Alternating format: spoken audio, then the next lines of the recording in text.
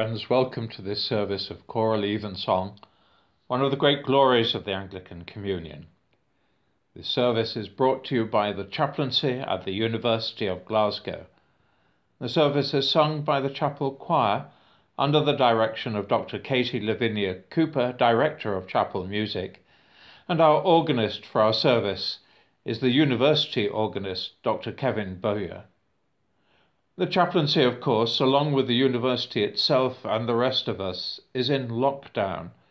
This evening service, therefore, comprises a set of re- pre recordings, some from the archives, some especially recorded for this service. The readings are those appointed for today, Tuesday of the third week of Easter, but the psalm and introit and anthem have been chosen in celebration of Eastertide and indeed of our distanced, both in place and time, our distanced coming together in praise of God. These are strange times for all of us times of worry, anxiety, and fear, times in which we would expect to come together in worship, but must hold our physical separation and meet only remotely. No faith community takes lightly this injunction against gathering together in worship. In other times and places, such injunctions have been cause to refusal, rebellion, and even revolution. But these are different times, and the imperatives of health and safety are foremost in all our concerns. Yet, like the Israelites in the wilderness, longing for the promised land, and then the Israelites in their exile, longing to return from Damascus to Jerusalem. We long for the time of our regathering and for the suffering to be over. But these are not our only models. Throughout our longing, we are sustained by the model of Jesus, the one who gave his life that, as St. John records, we might have life and have it abundantly in his self sacrifice, we have the model for us all through these days. So now let us still ourselves and remember that we are always and everywhere in the presence of the ever loving and ever merciful God. Blessed be the God and Father of our Lord Jesus Christ, who according to his great mercy hath begotten us again unto a living hope by the resurrection of Jesus Christ from the dead. Dearly beloved, I pray and beseech you to accompany me with a pure heart and humble voice unto the throne of the heavenly grace, saying after me, Almighty and most merciful Father, we have erred and strayed from thy ways like lost sheep. We have followed too much the devices and desires of our own hearts we have offended against thy holy laws. We have left undone those things which we ought to have done, and we have done those things which we ought not to have done, and there is no health in us. But thou, O Lord, have mercy upon us, miserable offenders. Spare thou them, O God, which confess their faults. Restore thou them that are penitent, according to thy promises declared unto mankind in Christ Jesus our Lord and grant, O most merciful Father, for his sake, that we may hereafter live a godly, righteous, and sober life, to the glory of thy holy name. Amen. May the Almighty and merciful Lord grant unto us pardon and remission of all our sins, time for true repentance, amendment of life, and the grace and comfort of the Holy Spirit.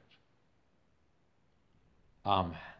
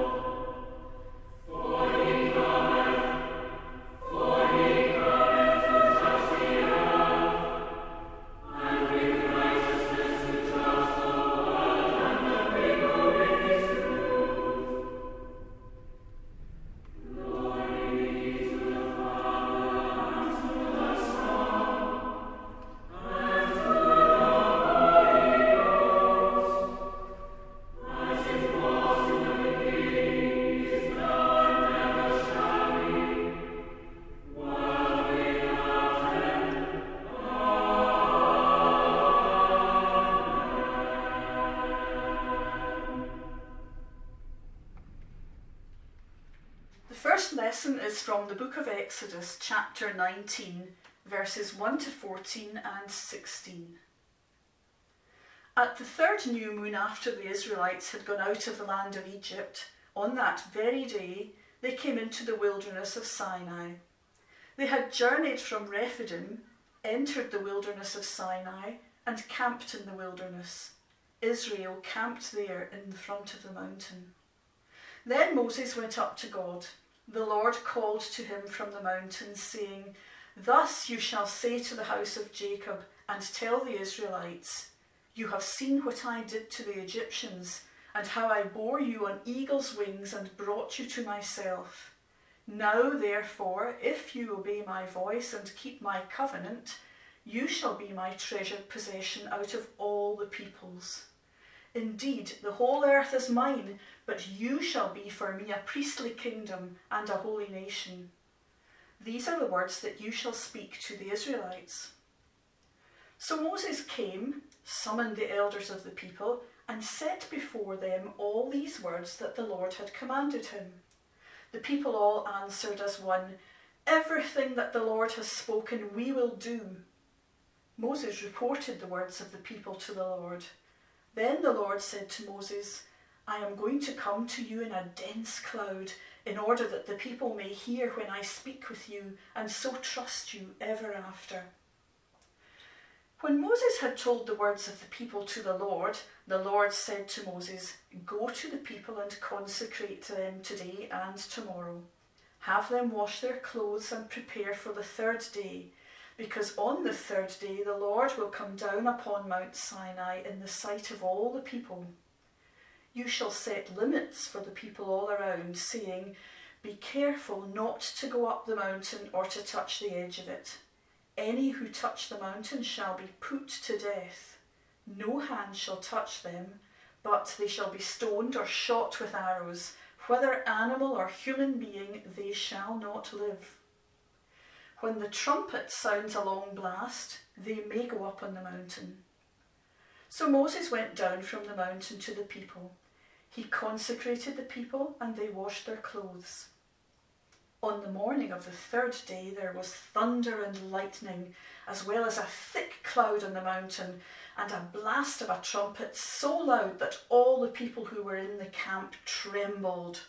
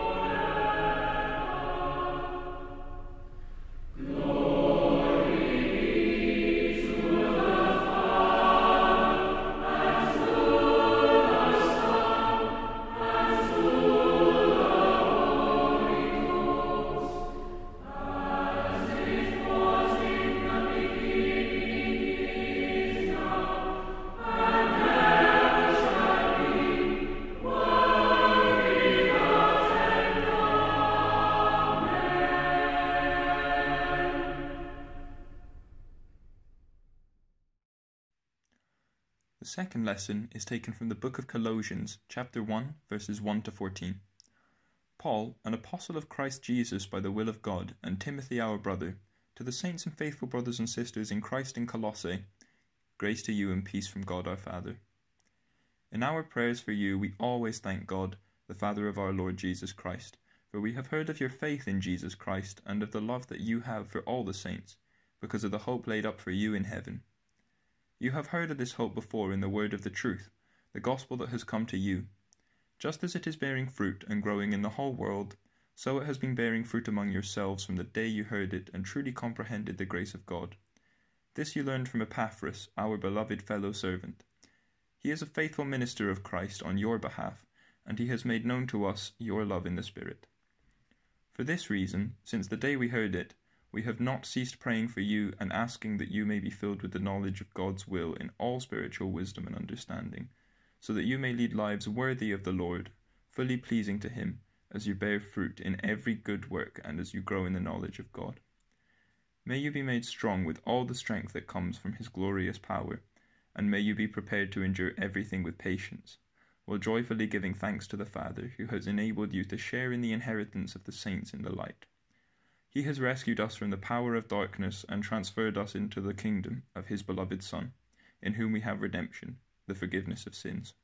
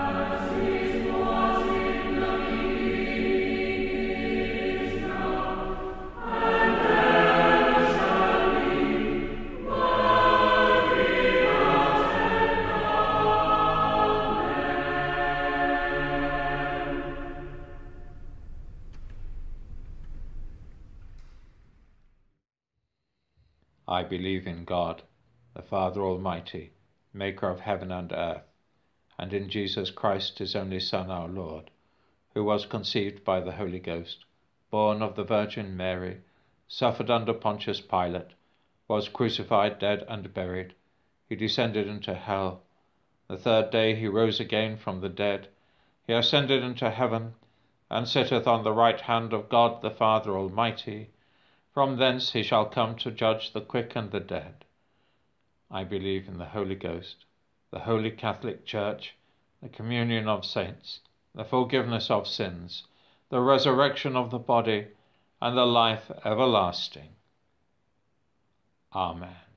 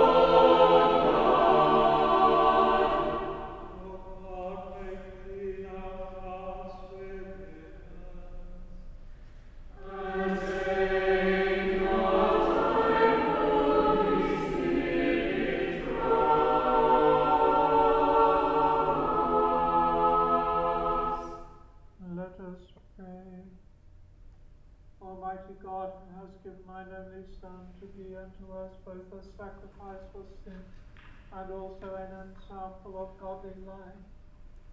Give us grace that we may always most thankfully receive that his inestimable benefit, and also daily endeavour ourselves to follow the blessed steps of his most holy life. Through the same Jesus Christ our Lord. O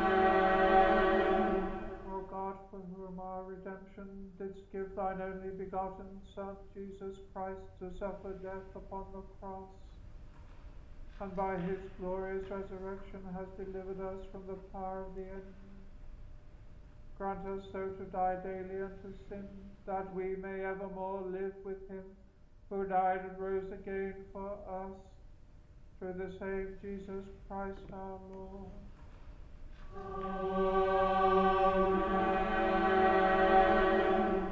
God, from whom all holy desires, all good counsels, and all just works do proceed, give unto thy servants that peace which the world cannot give, that both our hearts may be set to obey thy commandments, and also that by thee we, being defended from the fear of our enemies, may pass our time in rest and quietness. Through the merits of Jesus Christ our Saviour. Amen. Lighten our darkness, we beseech thee, O Lord, and by thy great mercy defend us from all perils and dangers of this night. For the love of thy only Son, our Saviour, Jesus Christ. The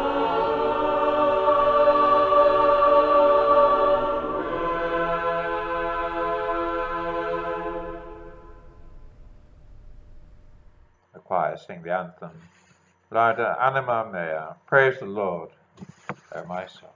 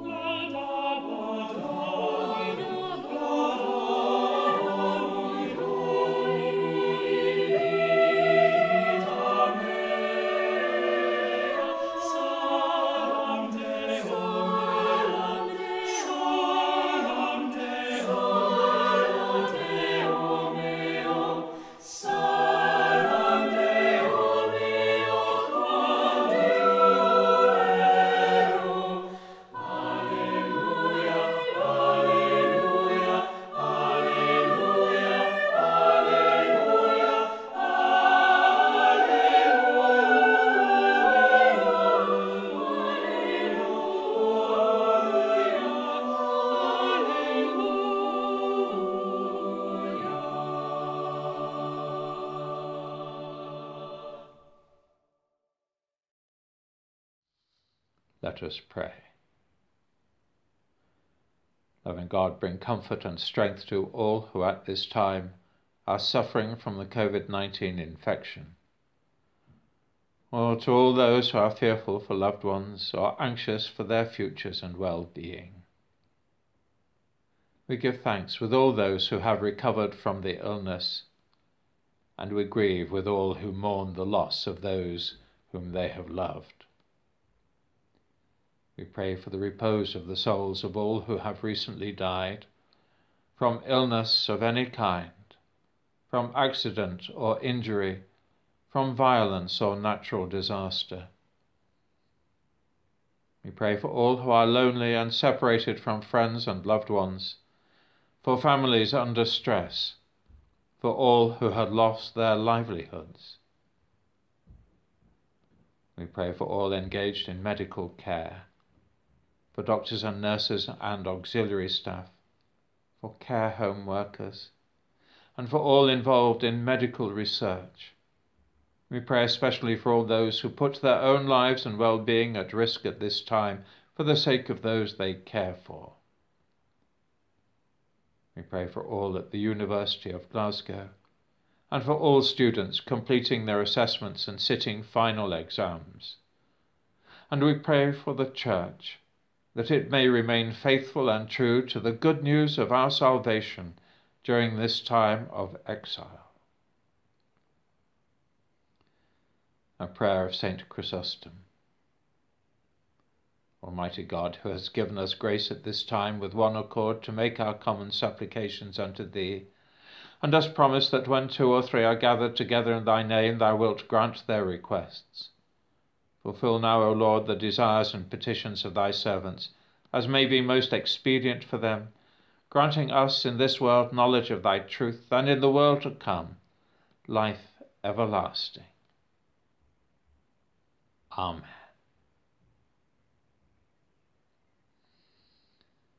We sing the hymn, The Day of Resurrection, Earth, tell it out abroad.